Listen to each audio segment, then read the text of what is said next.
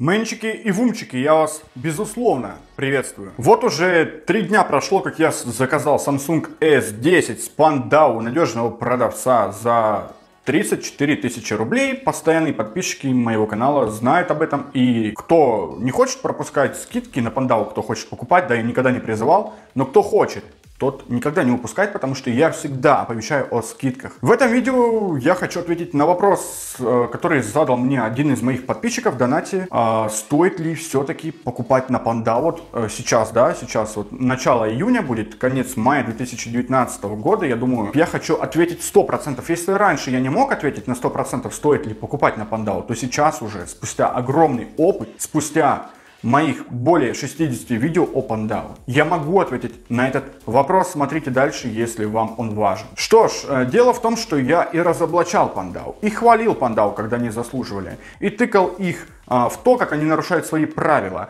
Разбирал, как они э, обманули, да, можно сказать, ввели в заблуждение одного из моих подписчиков, все на моем канале в рубрике «Панданутый донати». Представляете, более 60 видео я и заказывал туда, и получал посылки, и не получал. Что только не приключалось со мной по этой теме Спандау. Пять месяцев, да, то есть я занимаюсь этой темой.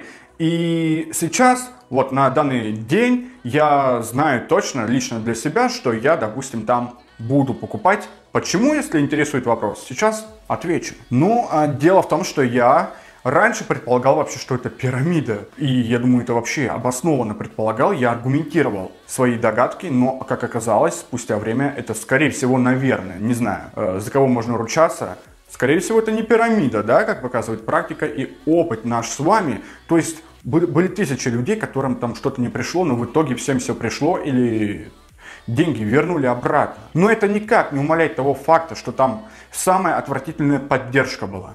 А, все споры велись просто даже у людей по 3-4 по 4 месяца.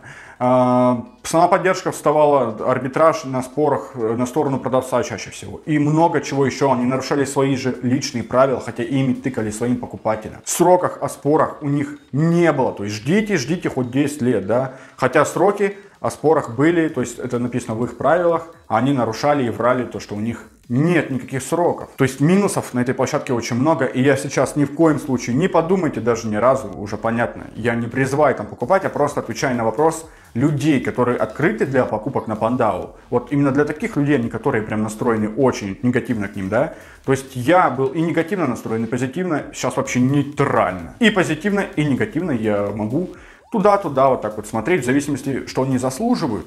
Сейчас я смотрю, более-менее они чуть-чуть стали лучше. То есть поддержка, я им пишу, они вроде и быстро отвечают, и консультируют, и не врут о сроках, по крайней мере. Я с трех аккаунтов проверял, Многим, может быть, и врут, я не знаю, в зависимости от консультанта. И в целом, вроде бы, не пирамида, а что еще, как говорится, надо. То есть, да, если ты, дружище, хочешь покупать в два раза дешевле, и чтобы не рисковать, ну, такого не бывает.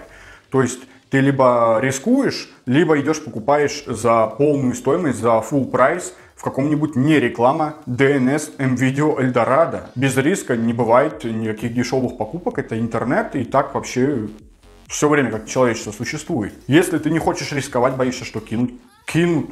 Конечно, не покупай на Пандау ни в коем случае вообще. Если вы хотя бы частично согласны с моим мнением, то поддержите это видео лайком. Напишите в комментариях, что вы думаете сами на этот счет. Поделитесь своим опытом. Если не хотите пропускать новые видео, то подпишитесь на канал. Ну а мы с вами, мэнчики и вумчики, как всегда будем оставаться безусловно на связи.